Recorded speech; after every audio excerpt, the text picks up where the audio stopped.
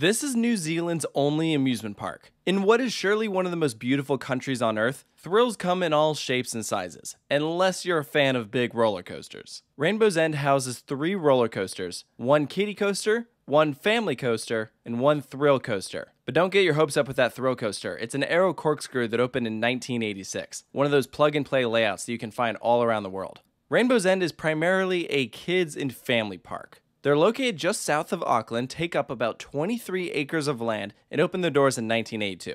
They've got a total of 18 rides plus various other activities, including some play structures and climbing activities. I had the opportunity to visit for my first time this past year. This was just one of the stops we made while exploring this beautiful country. I highly recommend checking out some of the other incredible sites while you're in New Zealand, because if you're a coaster enthusiast just looking to visit the country so you can come to this park, you're probably going to be disappointed. Rainbow's End has some redeeming qualities, but overall left a lot to be desired. So in this review, I'm going to talk about what worked, what could have been better, and what I'd love to see here in the future. So first off, Rainbow's End is in a pretty urban area. Like there's literally a mall right next door, a bunch of office buildings. It's one of many businesses in this part of Auckland. And so as a result, even their parking lot isn't that big. They have to be really conscious of space here. Upon entry, the first thing you're going to see is this decorative Rainbow's End sign. Not super grand or anything, but a nice way to make a first impression. Once you're through the front gate, most of the park goes off to the right. Up ahead, I know is a laser tag arena. You can see the drop tower off in the distance. Rainbow's End has a height limit of 190 feet because the park is in the flight path for the Auckland airport. So that already puts them at a disadvantage that they can't build super tall. So their Intamin drop tower, Fearfall, is their tallest attraction here. It's actually pretty good. It's one of their giant drop models, about 180 feet in the air. Gives a great view of the surrounding area. Next door is also a Zamperla Discovery called Stratosfear. Unlike the ones that you might find in the Six Flags chain, this one is actually a bit more unique. This will send riders completely upside down and around. It's one of the few discoveries to do that. I think you can make an argument that these two rides are the most thrilling things here. I know most people have heard of this park are going to know it because of the corkscrew. For a ride that's been operating since 1986, it's just very outdated. Three inversions, the loop and the double corkscrew. Of course, I love the color scheme that they've given this, so iconic. That's, in my opinion, the best thing about this ride. Although, fun fact, this ride is currently operating with the old Arrow trains that came from Sea Viper over at SeaWorld. That was their Arrow Looper that operated until 2014. So, love that they're able to use that to extend this attraction's life. In terms of thrill rides, though, those three attractions are pretty much it. After that, there's a pretty big drop off. They have a Zamperla disco called Invader. There's a fun log flume here. This was actually the biggest surprise for me out of everything at Rainbow's End. It's called Enchanted Forest and it was built completely in house. And Rainbow's End did a huge renovation for it over the 2021 and 2022 seasons. And so everything during the seven minute long experience has been updated. There's so many show scenes,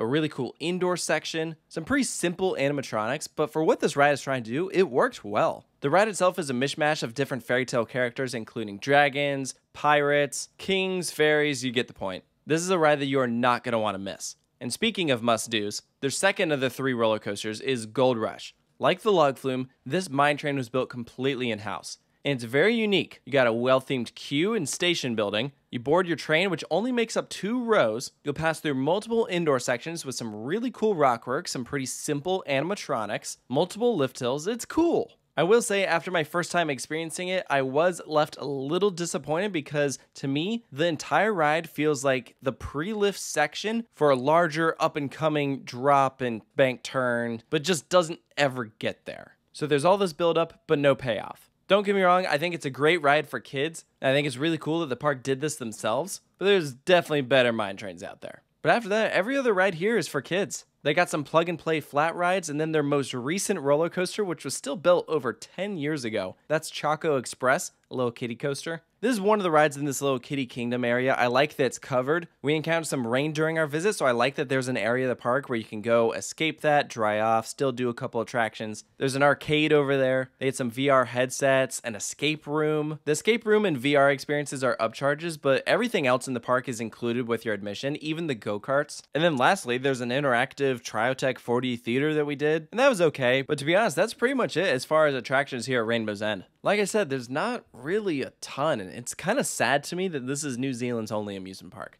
This country is so cool and they absolutely deserve better. To me, this feels like a secondary park that's a supporting attraction for a much larger signature park nearby. But I guess here in this country that's very nature heavy, that signature attraction is just anything but a theme park. So don't get me wrong, I thought Rainbow's End was fine for what it is. I do really hope that they get something better here in the future. As I mentioned, their last new roller coaster was a kiddie coaster over 10 years ago. Prior to that was a roller coaster called Dragon's Flight in 1997, 15 years before Choco Express. Of course, that ride is no longer around, it closed in 2012. Gold Rush was two years before Dragon's Flight in 1995, and then before that was a Corkscrew nine years before that. So, I mean, if you follow this pattern of new rides, we should be getting pretty close to opening up a new roller coaster here. And of the roller coasters they've added, they've definitely gone the longest without adding a new thrill coaster. So logically, that would be the next big investment. Now, as I mentioned, Rainbow's End is landlocked, so where do you put it? Well, they took out their Viking ship back in 2017,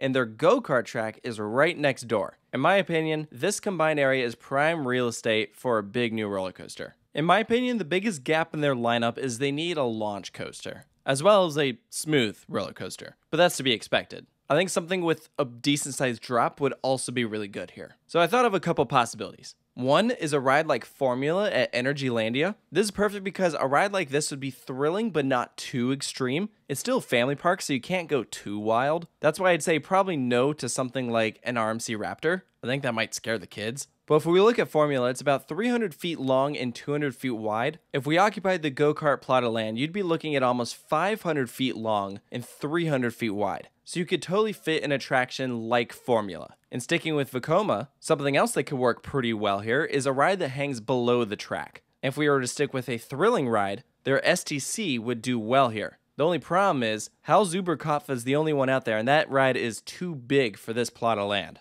Not saying they couldn't go custom, but clearly this is a park on a budget, so a plug and play model is definitely more likely. Now, a step down from a thrill ride would be Vekoma's family suspended coaster. You could probably make a ride like Dragonflyer work here. Or if we get back to Tripsdrill, shifting gears a little bit, Hals-über-Kopf might be too big, but Karacho is not. It's a pretty thin layout and it's a little less than 500 feet long, so a Gerstlauer Infinity Coaster would totally work. That could give them a launch as well as a top hat, so that's a decent sized drop. And all of these would stay within their height limit. Of course, there are other options too, including some much more compact designs. So obviously it would depend on what the park is willing to give up land-wise as well as how much they can afford to spend. It's entirely possible that all of the attractions I've mentioned are well outside of the park's budget.